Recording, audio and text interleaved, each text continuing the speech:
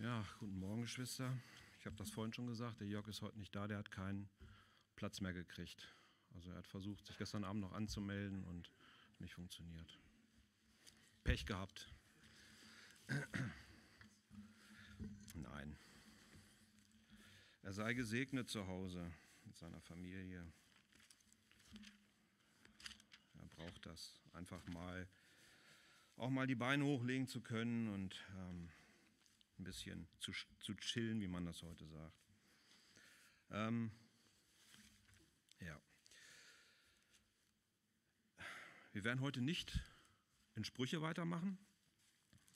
Ähm, ich habe was anderes auf dem Herzen oder Gott hat es mir aufs Herz gelegt. Ein Thema, das ich faszinierend finde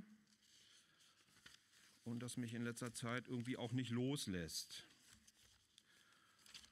Und zwar ist das das Thema Jesus, der gute Hirte. Ganz einfach. Jesus, der gute Hirte.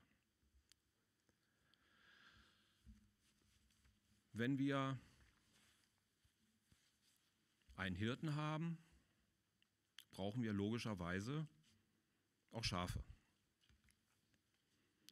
Ein Hirte ohne Schafe, ja, ist arbeitslos. Ähm, ich habe früher immer so äh, in meiner Kindheit, ich komme vom Dorf, da gab es immer Schafhir also Schafhirten, die durch die Gegend gezogen sind. Und ich fand das immer faszinierend, so die, diese, diese Männer zu sehen, ähm, die ihre Hunde dabei hatten, die wirklich aufs Wort gehört haben. Ähm, aber ich habe gedacht, das ist ja ein echt, wirklich ein lauer Job, so den ganzen Tag spazieren zu gehen mit den Schafen, durch die Gegend zu ziehen äh, mal hier anzuhalten, mal da anzuhalten, die Schafe einfach fressen lassen und dann weiterziehen. So habe ich mir das gedacht. Das ist das Leben eines Schafhirten. Aber es ist ganz anders. Ein, Scha ein Schaf, ein Hirte lebt für seine Schafe. Er hat einen 24-Stunden-Tag.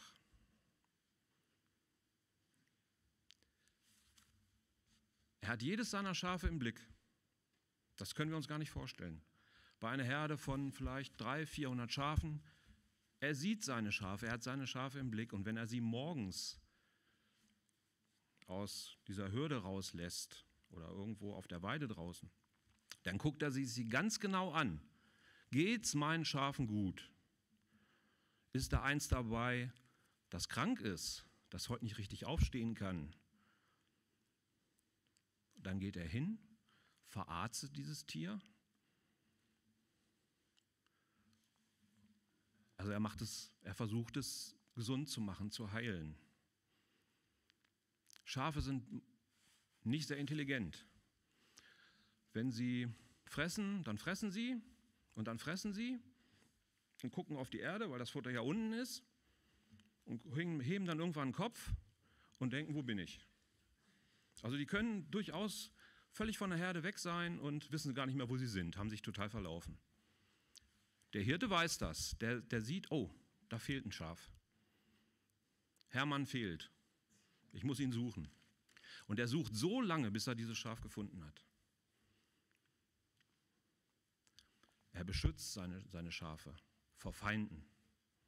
Er setzt sein Leben ein. Und wenn er seine Schafe abends zur Ruhe bringt, gibt es für diese Schafhürde ein Eingang und da legt sich der Hirte hin. Er wacht, er passt auf auf seine Schafe.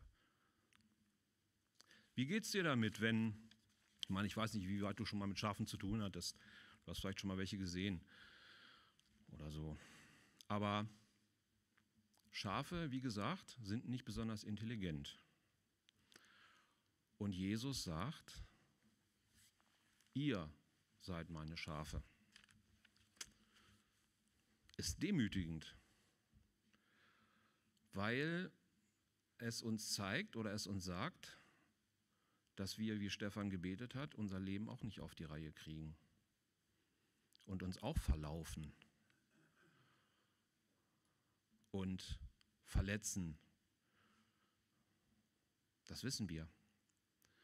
Und ich möchte jetzt ganz kurz einfach auch zum Wort Gottes kommen. Ich möchte mit euch einfach so ein bisschen den Psalm 23 angucken im Alten Testament. Ein Psalm von David, den lese ich einfach jetzt mal vor. Wir werden nicht weit, wahrscheinlich nicht weit kommen in dem Psalm, aber äh, erstmal lesen wir ihn. Der Herr ist mein Hirte, mir wird nichts mangeln. Er weidet mich auf einer grünen Aue und führet mich zum frischen Wasser. Er erquicket meine Seele. Er führet mich auf rechter Straße um seines Namens willen. Und ob ich schon wanderte im finsteren Tal, fürchte ich kein Unglück, denn du bist bei mir. Dein Stecken und Stab trösten mich. Du bereitest vor mir einen Tisch im Angesicht meiner Feinde.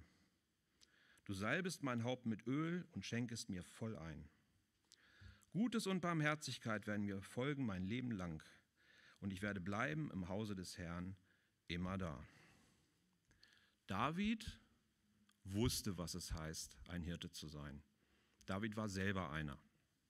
Er war später König, aber in seiner Jugendzeit war er Hirte mit dem Schafen draußen. Aber er spricht hier nicht als Hirte, sondern als Schaf eines Hirten. Und er sagt, der Herr ist mein Hirte. Der Herr ist mein Hirte. Nicht irgendjemand anders. Keiner ist so wie mein guter Hirte. So voller Liebe, so voller Weisheit, so voller Kraft. Er ist derjenige, der alles ins Sein gerufen hat. Und ich habe das vorhin schon gesagt, mach das mal, wenn du irgendwie die Möglichkeit hast, in so einer richtig dunklen Nacht rauszugehen und dir den Sternenhimmel anzugucken. Du drehst durch, weil das ist so gewaltig, was du da oben siehst, diese Größe. Und das geht ja noch viel, viel weiter. Das ist das, was du siehst. Aber da drüber ist noch was und noch was und noch was. Das ist so groß und es gibt unseren Hirten, der da drüber steht. Und er kennt dich und dich und dich und dich und er kennt jeden einzelnen von uns. Dieser allmächtige Gott. Und er kennt uns nicht nur, sondern er hat sein Leben für dich gegeben, damit du echtes, wahres Leben hast. Was, was, was bringt das, was ist das, was bringt das für uns für einen Wert? Dass der große, heilige, mächtige Gott uns bei unserem Namen kennt, uns liebt und uns seine Kinder nennt.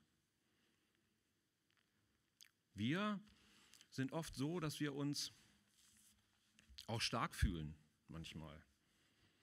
Wir haben irgendwas geleistet und denken, Mann, wir sind ja doch gar nicht so schlecht drauf oder was auch immer. Wir sind, fühlen uns vielleicht, wenn wir uns mit anderen vergleichen, wir sind intelligenter oder sehen besser aus oder was auch immer. Aber betrachte dich mal, mal realistisch. Du bist einer hier in der Gemeinde. Du bist einer in dieser Stadt von 600.000 Leuten. Du bist einer in der Bundesrepublik von 80, 90 Millionen. Du bist einer in Europa und einer in der ganzen Welt, einer von 8 Milliarden. Du bist eigentlich ganz, ganz klein. Die meisten Menschen wirst du nie in deinem Leben kennenlernen. Oder? Ja, ja. Will man vielleicht auch nicht, aber ne, du, du wirst nicht alle. Und dieser große, heilige Gott kümmert sich um uns, um dich ganz persönlich. Er hat dich gesehen, als du irgendwo lagst und nicht mehr weiterkamst. Wenn Schafe auf dem Rücken liegen, kommen sie nicht alleine wieder hoch und sterben. Und die Schafe ohne den Hirten haben keine Überlebenschance, weil sie sind einfach nicht die hellsten, wie gesagt. Sie rennen gegen die Wand, sie machen alles Mögliche. Sie kippen um, sie trinken verseuchtes Wasser und so weiter, wenn der Hirte nicht dabei ist. Wenn sie sich selbst überlassen sind, haben sie keine Chance. Und das sollte uns zu denken geben. Wenn du meinst, du kriegst dein Leben schon selbst geregelt, läuft alles, alles wunderbar, das klappt schon. Ich sage dir, du wirst scheitern. Vielleicht gehst du reich, irgendwo, vielleicht stirbst du reich hier in dieser Welt. Aber wenn du den guten Hirten nicht hast, gehst du alleine, ohne all dein ganzes Kram, was du dir hier angehäuft hast. Du gehst alleine, nackt. Wir brauchen, wir brauchen diesen guten Hirten. Das ist so wichtig. Und David für David, ich möchte, ich würde gerne hören, das ist ja auch ein Lied, wie David das, mit was für einer Überzeugung er das gesungen hat. Ich glaube, er war richtig so ein bisschen stolz drauf. Jawohl, dieser Gott, dieser Herr, das ist mein Hirte. Und den haben wir alle in unserem Leben. Diesen guten, wunderbaren Hirten, der unsere Wunden heilt, der uns versorgt, der an uns dran ist, der uns zu wunderbaren, frischen Quellen führt, der unser Leben reich macht nicht so, wie wir es uns vielleicht vorstellen manchmal. Aber das ist wirklicher Reichtum, den er gibt. Und ich möchte mal noch ein bisschen weitergehen. Er sagt hier dann weiter, mir wird nichts mangeln. Mir wird nichts mangeln. Wie geht es dir damit, wenn du das hörst? Mir wird nichts mangeln. Ist hier einer von uns, der möge doch bitte jetzt aufstehen oder die Hand heben, der absolut in nichts einen Mangel hat, dem es absolut gut geht, der keine Probleme hat, der gesund ist, der stark ist, bei dem alles läuft. Keiner. Warum sagt er das hier? Warum sagt er, mir wird nichts mangeln? Uns mangelt es doch eigentlich an so vielem, wenn wir jetzt mal ein bisschen realistisch sind. Du hast, dem einen geht es besser als dem anderen vielleicht, der eine weiß nicht, oh, wie soll ich morgen mein Brot kaufen? Ich bin finanziell am Ende, ich habe Schulden, ich bin, ich komme nicht weiter. Ich muss morgen zum Arzt. Oh, da ist irgendwas in meinem Körper, was, was nicht so ganz in Ordnung ist. Ich habe Angst vor dieser Diagnose. Ich weiß nicht, was kommt. Kriegst Anruf. Dein Kind, deine Frau, deine Eltern sind schwer verletzt ins Krankenhaus eingeliefert worden. Da stehen wir doch nicht da, das wäre doch Hirn amputiert. Da stehen wir doch nicht da und schreien, Hurra, danke Jesus. Dann bist du down. Dann mangelst dir auf jeden Fall. Warum sagt er das hier? Mir wird nichts mangeln, weil er uns eine andere Sicht der Dinge schenken möchte. Wenn Gott, wenn Jesus dein Ein und alles ist, deine größte Liebe, dann ist es tatsächlich so, oder es kann so sein, dass du, egal was du erlebst, dennoch Freude hast und erfüllt bist weil sich die Dinge in die richtige, in die richtige Sicht schieben. Paulus sagt im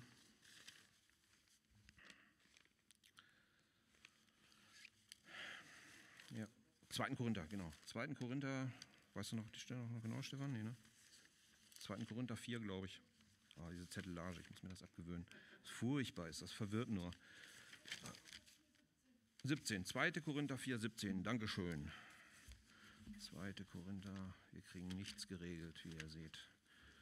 2. Korinther 4,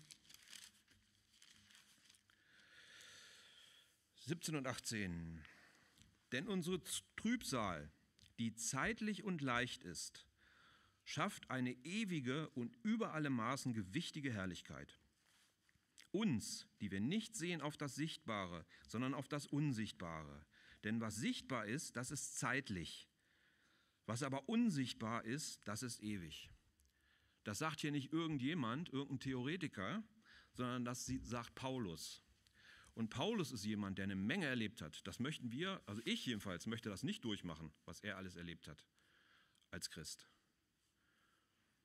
Der ist geschlagen worden, der ist ach, die wollten ihn ständig, ständig umbringen, der ist im Knast gelandet, ist gesteinigt worden, hat es überlebt, ist aufgestanden, hat den Staub runtergeklopft, ist weitergegangen. Wir hätten uns erstmal hingesetzt, bräuchten wahrscheinlich einen Psychiater, der uns erstmal ein bisschen äh, verarztet und so weiter. Wir wären im Krankenhaus gelandet, er ist weitergegangen. Warum?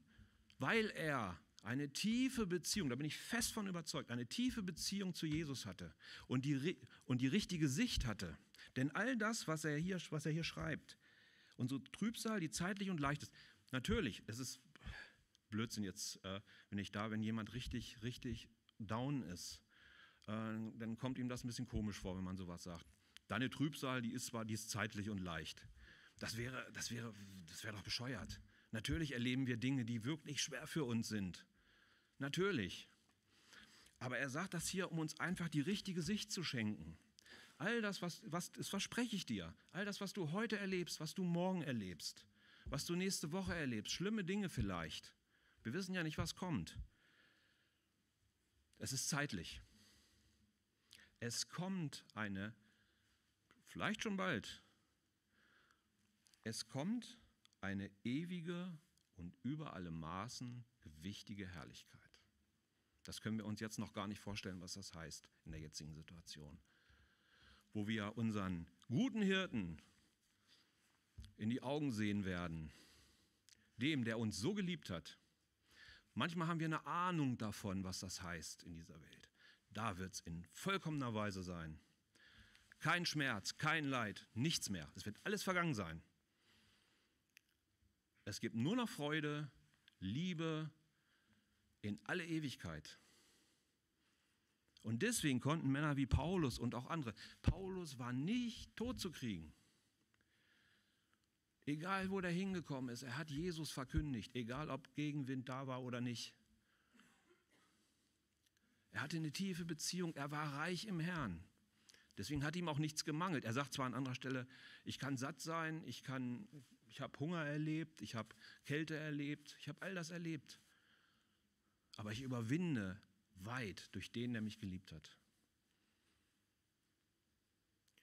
Und mir wird nichts mangeln, tatsächlich. Wenn ich ihn habe, habe ich alles. Vielleicht, habe ich, vielleicht bin ich nicht reich,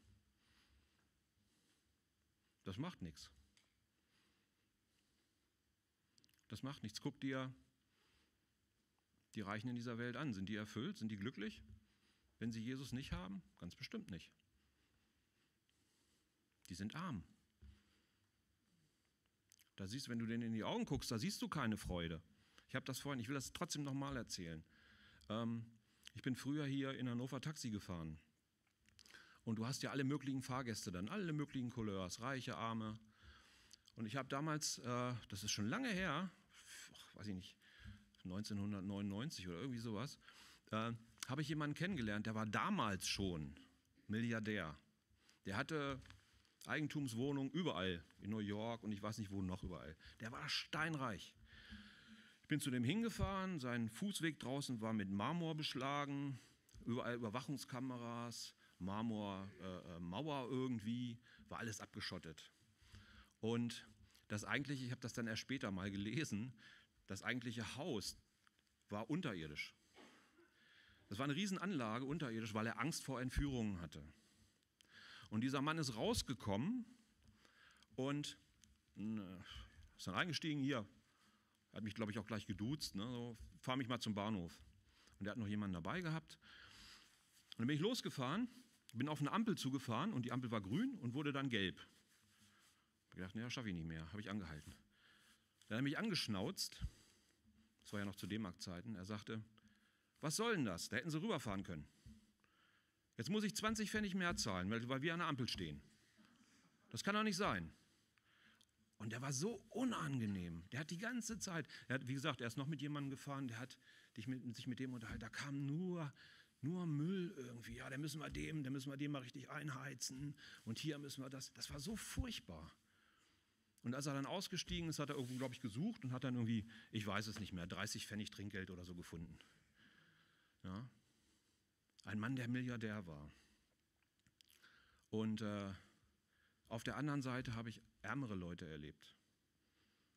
Eine Mutter mit drei Kindern, ohne Vater irgendwo, die einem so, so sozialen Brennpunkt lebt. Die war dankbar für alles. Wenn ich einfach nur die Tasche abgenommen habe, in den Kofferraum getan. dann war die glücklich. Die haben, obwohl sie nichts hatten, drei, vier Mark Trinkgeld gegeben. Also Reichtum ist nicht von dem materiellen Kram abhängig. Das sagt Jesus, das verrostet, das zerfällt sowieso zu Staub, das bleibt nicht. Wahrer Reichtum ist ganz woanders. Und du kannst, auch wenn du in schweren Umständen drin bist, kannst du, und gerade dann ist es oft so, dass Jesus dir nahe ist. Und ich sage dir, wenn Jesus dir nahe ist, das ist Herrlichkeit, auch in Not. Das haben Geschwister immer wieder berichtet, die irgendwo im Knast gesessen haben. Wenn Jesus in ihre Zelle kam, so haben sie das immer beschrieben, da war die Herrlichkeit da.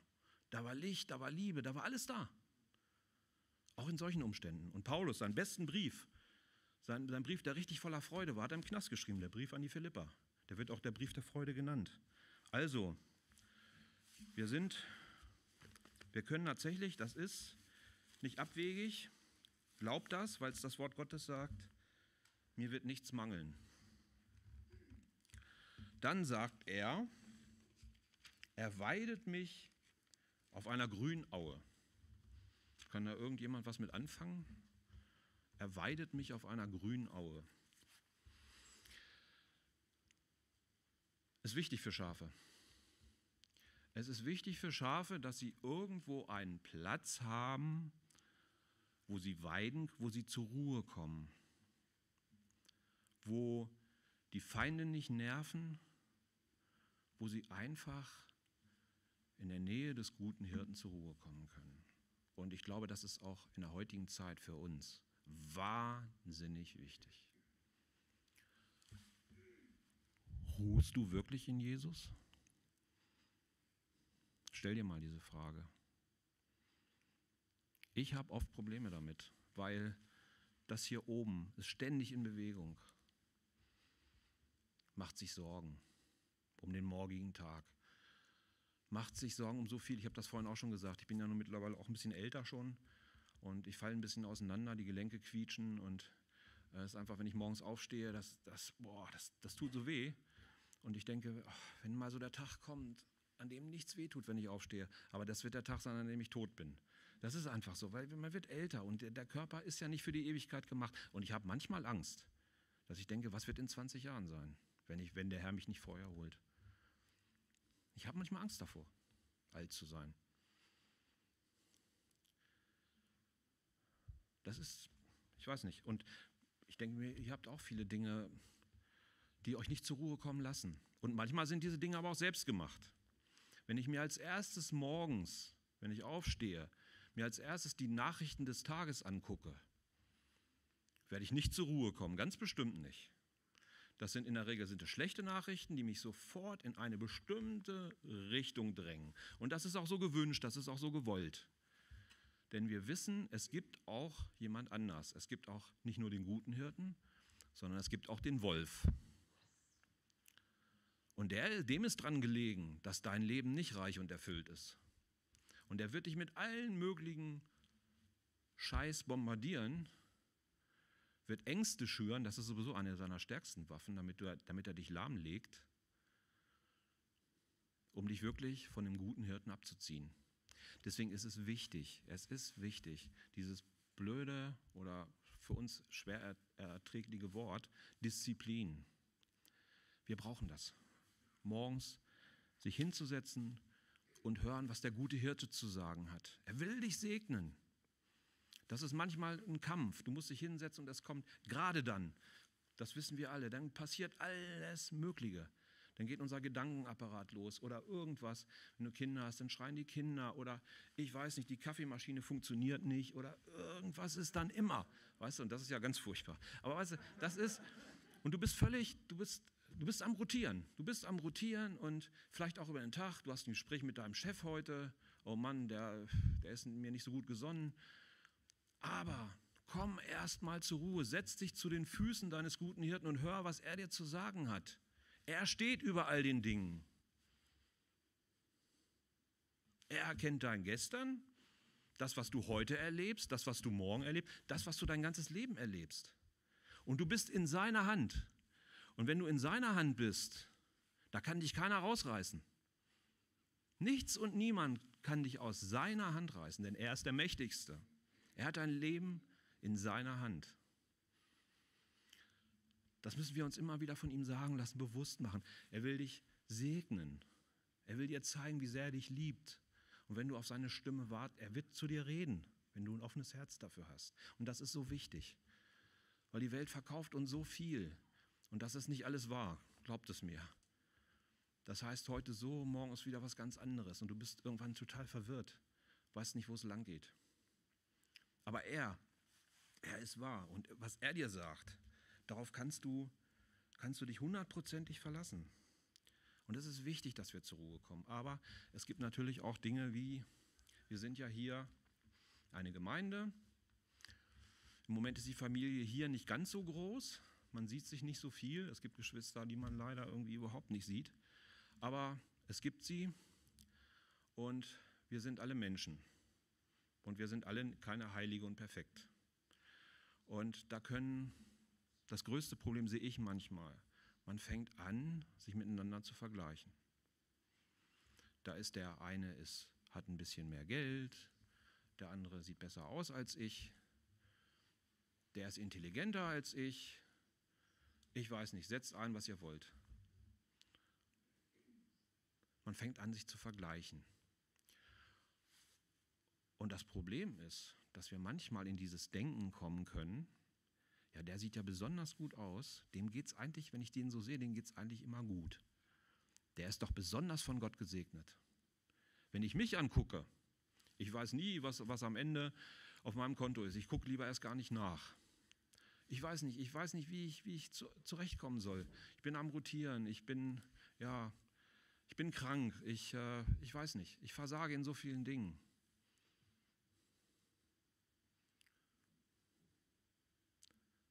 mich wird Gott wohl nicht so lieben. Und das ist eine Lüge. Das stimmt einfach nicht, weil wir alle, wir haben alle den gleichen Gott, der uns alle gleich liebt und uns alle gleich reich machen will. Das ist nicht von äußeren Umständen abhängig. Und der, du weißt es ja gar nicht, wie dein Bruder, dem es scheinbar so gut geht, wie es innerlich in ihm aussieht, das weißt du nicht. Vielleicht hat er noch viel größere Kämpfe und Auseinandersetzungen als du.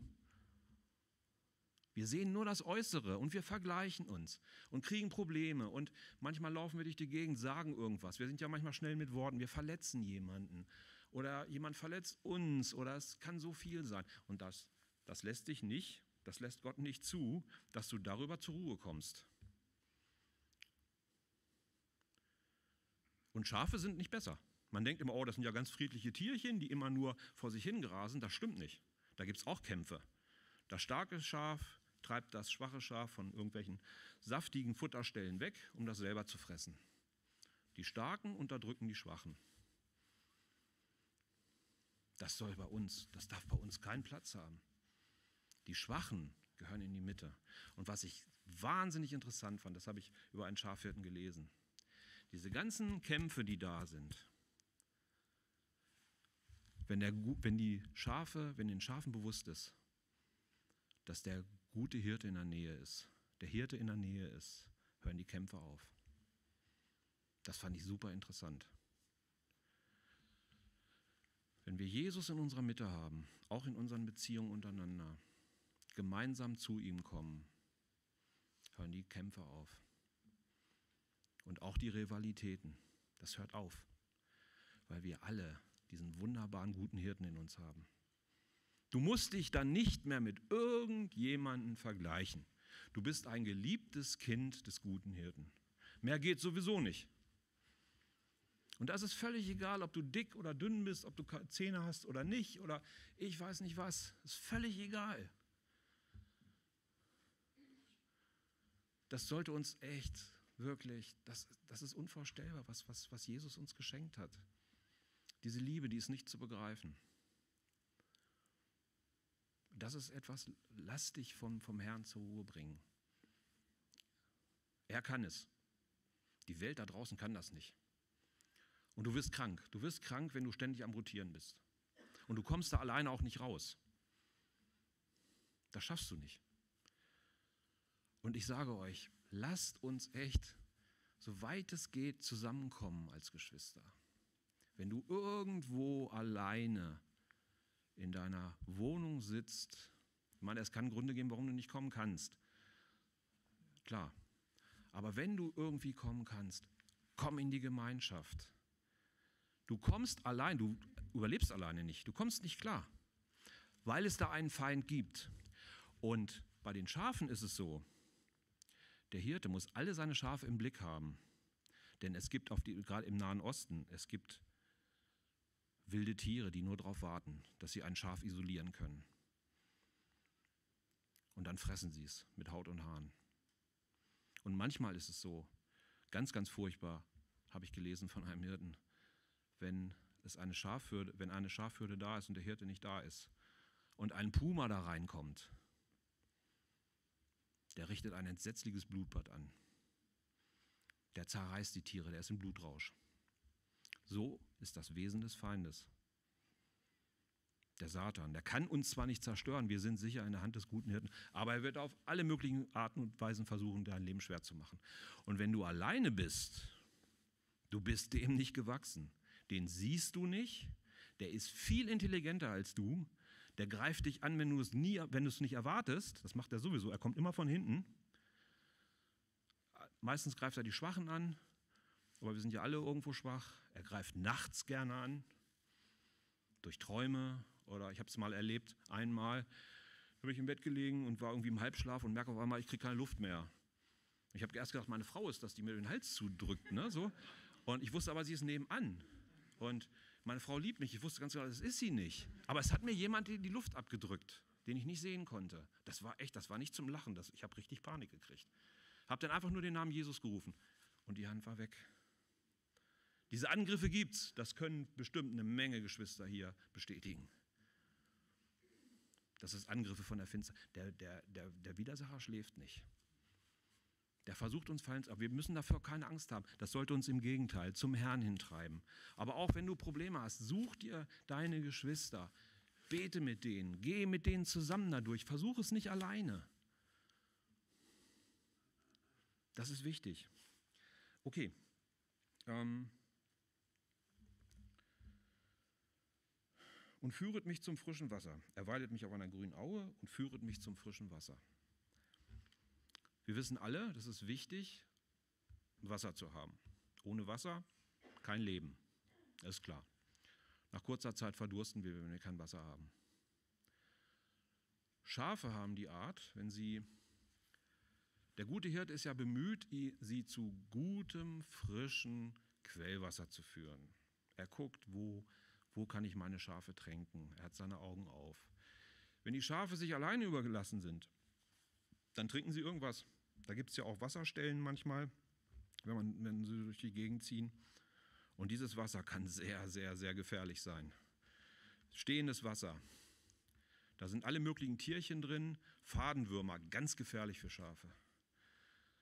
Wenn sie die aufnehmen und nicht schnell ärztliche Hilfe kriegen, sterben sie und ziemlich erbärmlich. Also Schafe sind ja, wie gesagt, nicht so intelligent. Und wir sind manchmal auch nicht sehr intelligent. Jesus hat, tut mir leid, wenn ich euch, also wir sind es einfach nicht. Also ich spreche von mir, vielleicht äh, fühlt sich nicht angesprochen, aber ähm, der, Scha der ähm, Gott hat einen, wir sind alle durstig. Gott hat einen Durst in uns hineingelegt. Ich meine nicht den physischen Durst, sondern einen geistlichen Durst. Du kannst nur wahre Erfüllung finden, du kannst nur satt werden in ihm. In nichts und niemand und in nichts sonst. Er ist der Einzige, der deinen Durst bleibend stillen kann. Das sagt uns auch das Wort Gottes. Jetzt müsst ihr wieder Geduld mit mir haben. Das sagt er im Evangelium und zwar, ich glaube, es ist Lukas. Nee, das ist es nicht. Oh, meine Frau liebt mich. Johannes 4,13. Ich bin echt aufgeschmissen. Ey. Oh. Johannes 4,13. Johannes 4,13. da, da geht es um die samaritische Frau und da sagt Jesus ähm, in Vers 13, Jesus antwortete und sprach zu ihr, wer von diesem Wasser trinkt, den wird wieder dürsten. Wer aber von dem Wasser trinken wird, das ich ihm gebe, den wird in Ewigkeit nicht dürsten, sondern das Wasser, das ich ihm gebe, das wird in, in ihm eine Quelle des Wassers werden, das in das ewige Leben quillt. Du kannst versuchen, deinen Durst irgendwie anders zu stillen. Und guck dir die Welt an, die Menschen versuchen es. Und wir haben es vor unserer Bekehrung auch versucht. Und manchmal versuchen wir es vielleicht auch heute noch, dass wir unser Herz an irgendwelche anderen Dinge hängen. Oder Menschen oder was auch immer. Und du bist enttäuscht hinterher. Aber sei nicht enttäuscht auf den Menschen oder auf die Dinge, denn sie sind gar nicht dazu in der Lage, deine innere, dein inneres Bedürfnis, satt zu sein, zu stillen. Das können sie nicht, das kann kein Mensch, das kann niemand, außer Jesus. Jesus ist der Einzige, der einen tiefen Durst stillen kann. Und Gott sagt dann noch an einer anderen Stelle, ich bin gleich durch mit den Bibelstellen, ähm,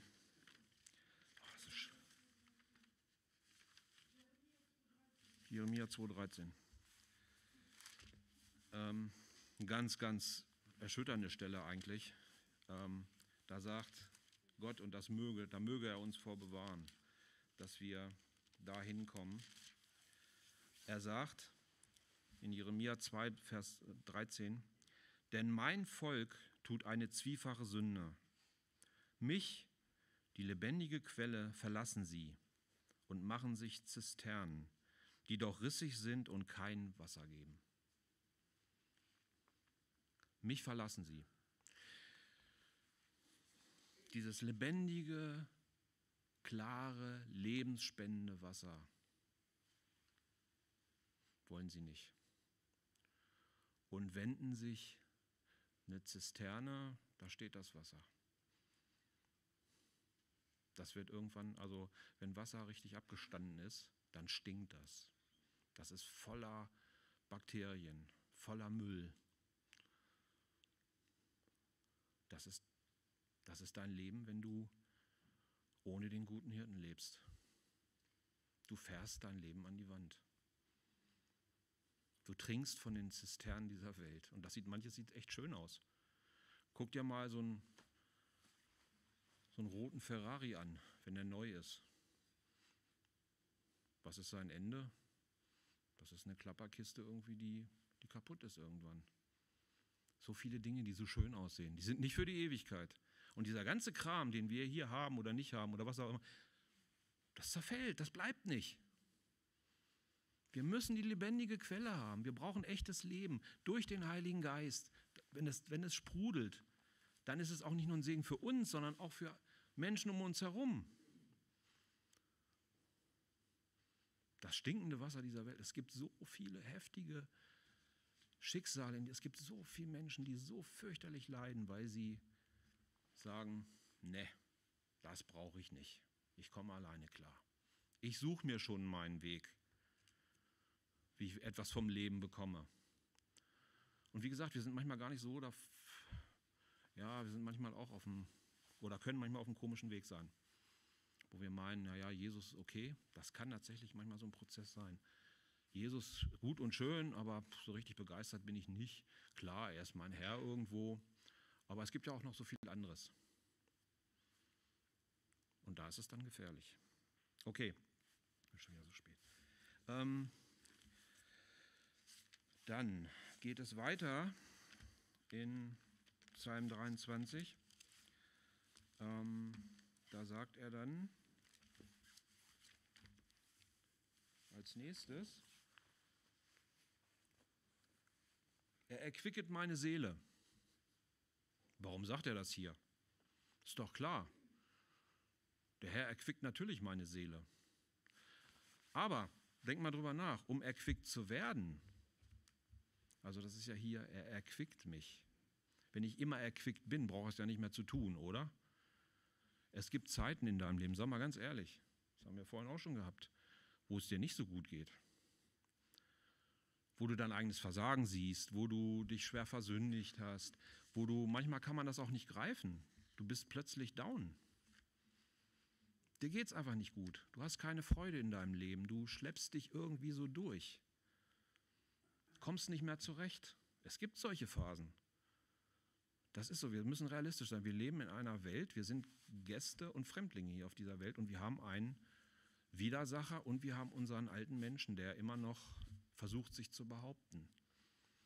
Und uns geht es nicht immer gut. Ich möchte, also das, das finde ich komisch, wenn es Leute gibt, denen es immer gut geht, die immer am Strahlen, immer am Lächeln. Ich glaube denen das nicht. Weil wir haben unsere Kämpfe, wir haben unsere, unser Versagen, unsere Auseinandersetzungen. Das ist so. Das ist das Leben in dieser Welt oben in der Herrlichkeit wird es vorbei sein.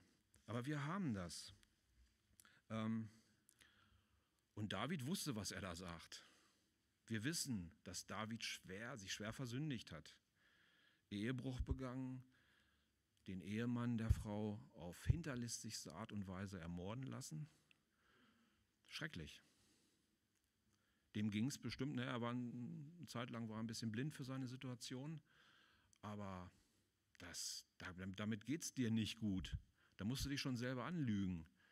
Das sind, und das haben wir, du bist vielleicht kein, kein Mörder, weiß ich nicht. Der eine oder andere, ich weiß es ja nicht. Aber es geht uns nicht immer gut. Das ist, das ist einfach nicht die Realität. Und wir haben aber jemanden, der, Moment, noch ganz wichtig, Schafe. Schafen geht es auch so. Wenn Schafen, Schafe auf dem Rücken liegen, und das, das passiert manchmal, kommen sie nicht wieder alleine hoch.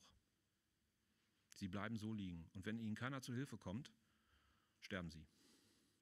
Denn wenn die auf dem Rücken liegen, entwickeln sich im Körper Gase. Und wenn die sich ausbreiten, das geht recht schnell, haben sie ein, äh, Einfluss auf den Blutkreislauf. Der wird abgebremst und sie sterben. Entweder daran oder wenn sie irgendwo liegen. Der Feind ist natürlich, der freut sich riesig darüber. Wenn wilde Tiere das sehen, das ist eine, da haben sie überhaupt keine Arbeit mit. Da stürzen die, Schafe sind wehrlos, die liegen auf dem Rücken. Stürzen sich drauf und Feierabend. Und das erleben wir doch manchmal auch. Du kannst doch, wenn du ganz ehrlich bist, du kannst so, so auf dem Rücken liegen, dass du nicht mehr selber hochkommst. Du bist so gelähmt von, ich weiß nicht was, setz ein, was du willst. Wenn dir da nicht jemand von außen hilft, bleibst du liegen. Du kommst alleine nicht hoch. Und das weiß der gute Hirte, das weiß der Hirte. Das kommt immer wieder vor, dass Schafe auf dem, auf dem Rücken liegen. Der muss schnell zu seinem Schaf. Der muss das suchen und wieder aufrichten. Das ist ganz, ganz wichtig. Sonst sterben die Schafe. Und da gibt es noch ein, äh, einmal ist es so, dass die landen deshalb, deswegen auf dem Rücken, die Schafe, weil sie sich irgendwo ganz bequem hinlegen, in irgendeine Mulde und irgendwie der Schafjäger das erklärt, ich habe das nicht so ganz verstanden, aber äh, da kann es schnell passieren, dass sie sich auf dem Rücken drehen. bequem.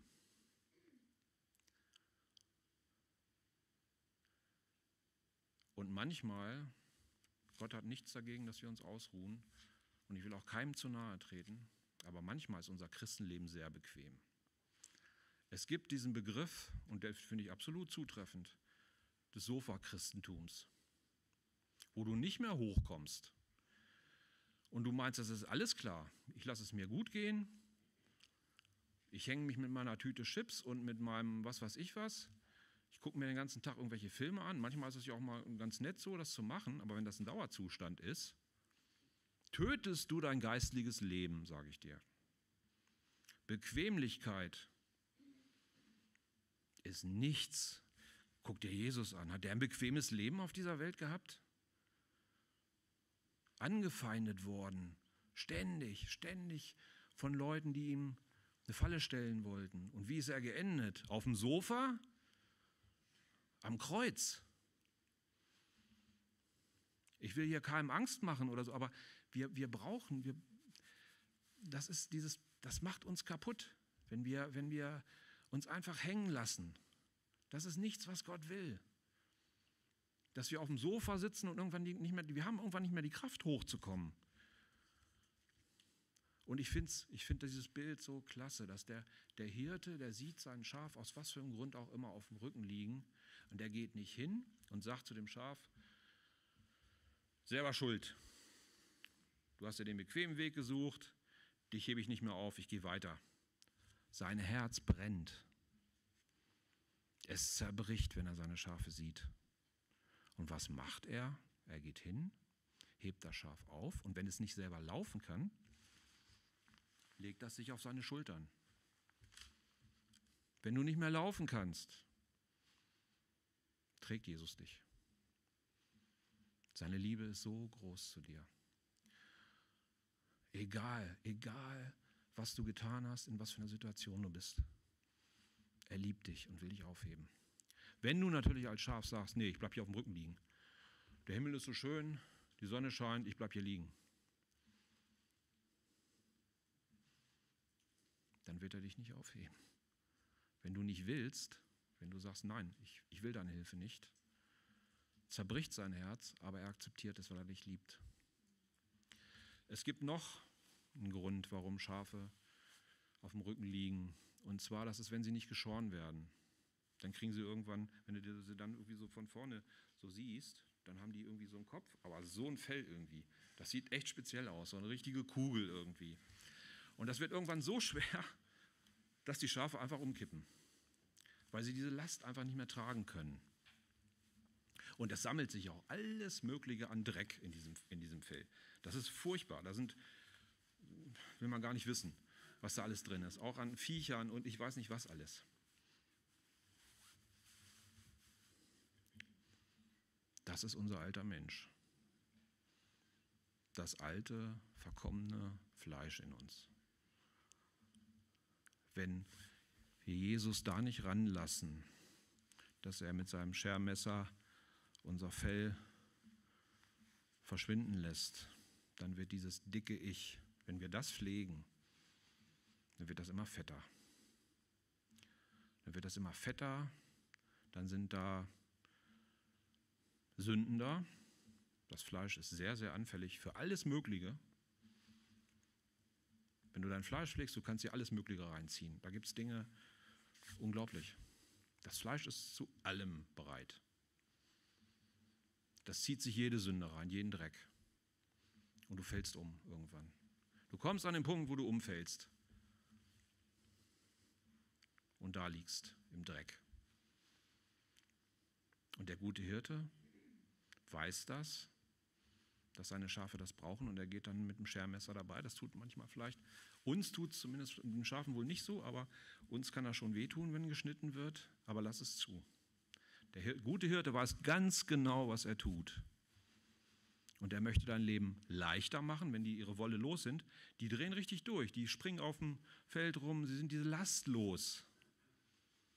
Dafür ist Jesus ans Kreuz gegangen, dass wir unsere Last loswerden können, dass wir ein Leben haben, das voller Freude, das leicht ist. Und dann gibt es natürlich Schafe, die umkippen, und das passiert häufig, am häufigsten, wenn sie zu fett sind. Fette Schafe kippen um. Das ist einfach so. Fette Schafe kippen um. Und du kannst als Christ, vielleicht nicht jeder von uns, aber wenn wir mal ganz ehrlich sind, es gibt viele von uns, die es sich richtig gut gehen lassen können. Die haben ja Auskommen, die kommen nach Hause, die müssen nie überlegen, oh, habe ich heute was zu essen oder nicht. Der Kühlschrank ist gerammelt voll. Wir leben in einer Gesellschaft, natürlich nicht jeder, das will ich nicht sagen, aber vielen von uns geht es gut, müssen wir ganz ehrlich sagen. Viele haben eigene Häuser, Autos vor der Tür, uns geht es gut und das kann echt ein Problem sein. Wenn du als Christ Karriere gemacht hast und deine Ziele, die du dir gesetzt hast, Haus zu bauen oder was auch immer, das erreicht hast, dann kann es passieren, dass du dich hinsetzt und sagst, Mann, ich kann zufrieden sein. Das ist doch toll, was ich geleistet habe. Das ist gefährlich. Das ist richtig gefährlich. Da warnt uns Gott in der Offenbarung, in, La, in die Gemeinde an Laodicea. Ich brauche nichts, ich habe alles, ich bin reich. Mir geht's gut, ich bin selbstzufrieden. Zufriedenheit ist eine schöne Sache, wenn sie im Herrn ist. Aber wenn du zufrieden in dir selbst bist, was, das, was du geleistet hast, wie toll du bist, dann wird es gefährlich. Du brauchst deinen Herrn, du brauchst deinen Herrn. Wir sind arm ohne ihn, egal was du geleistet hast in deinem Leben. Das, da wird dich Jesus hinterher später nicht nachfragen. Zeig mir mal dein Diplom oder was auch immer. Das gibt es da nicht mehr. Hast du dein Leben mit mir gelebt? Bist du an mir dran gewesen? Hast du dich von mir führen und leiten lassen? Und das ist so wichtig. Jesus kann nur unser guter Hirte sein, wenn wir ihm ganz das Leben geben. Wenn ich als Schaf sage, ja, okay, heute bist es, morgen springe ich mal über den Zaun, suche mir einen anderen Hirten. Wir können ihm vertrauen. Keiner liebt uns so wie er. Er ist unser guter Hirte, der an uns dran ist. Zu spät. Ich hätte noch einen Vers, und, aber den machen wir jetzt nicht mehr, weil Okay, Jesus, ich danke dir für dein Wort und ähm, ich habe viel geredet, vergib mir, dass, wenn Dinge nicht von dir waren, dann nimm du sie einfach aus den Herzen meiner Geschwister raus und ähm, ich bitte dich einfach, dass du dich ihnen offenbarst als der wunderbare, gute Hirte, der uns so unvorstellbar liebt. Das werden wir nie ganz begreifen können, Herr. Du machst unser Leben reich, vielleicht manchmal anders, als wir es uns vorstellen, aber du machst unser Leben reich. Du gehst mit uns, du erfüllst uns, du erfüllst unser Herz mit Freude und Kraft und hebst uns auf, wenn wir hingefallen sind. Sei es, dass der Widersacher uns ein Bein gestellt hat oder wir aufgrund unserer eigenen Blödheit und Sündhaftigkeit auf die Erde gefallen sind. Du hebst uns auf und wenn wir nicht laufen können, nimmst du uns auf die Schultern und trägst uns. Was für eine unvorstellbare Liebe möchte dich bitten, dass du uns in diese Woche hinein begleitest und dass du das, ja, das, was du sagst, ich bin der gute Hirte, dass es einfach mehr und mehr unser Leben formt und bestimmt und wir haben so viel Grund, uns dir anzuvertrauen, Herr. Und lass uns in der Beziehung zu dir wachsen, Herr. Amen.